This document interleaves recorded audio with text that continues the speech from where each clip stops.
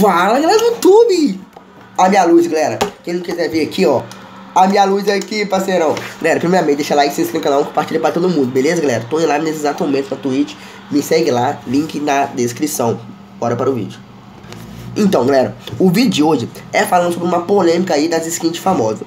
Todo mundo sabendo que no jogo Fortnite tem várias skins famosas, principalmente aquelas skins que os famosos fazem filme, como é John Wick. John Wick tem uma skin aqui no jogo e ele, é, é famoso através do filme dele nos Estados Unidos, certo? Então, galera, aí através dessas polêmicas aí, das skins famosos, que tá, tem várias skins famosos no Fortnite, o Ninja, não sei, tweetou aí no tweet dele, fala sobre a polêmica das skins famosas, porque o Ninja está querendo que, como dizer, a skin dele, do Ninja, está no jogo também, porque todo mundo sabe, galera, que o Ninja é pro player, aí ele quer uma skin exclusiva do Ninja na loja de itens. Já que tem várias skins de famosos, de filmes aí diferentes, ele quer uma skin exclusiva dele, só porque ele é um dos melhores do PC, certo?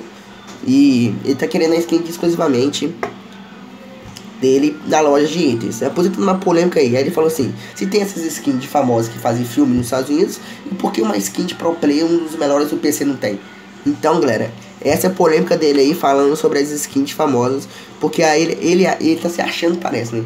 Aí, é, a skin de famoso provavelmente pode vir a skin do Ninja na loja, por causa dessa twist que ele mandou aí do através do da Twitch, beleza? Deixa eu ver aqui na live. Pera aí. Então, galera, esse vídeo aqui foi bem rapidinho, falando sobre a polêmica das skins famosas, com o Ninja nenhum problema aí, só porque ele tá, ele tá, querendo uma skin exclusivamente dele no jogo. E é isso, galera. Espero que tenham gostado do vídeo. Deixa like, se inscreve no canal. Tamo junto. Até o próximo vídeo. Me segue na Twitch, 4 seguidores pra 1130 já, mano. Muito obrigado.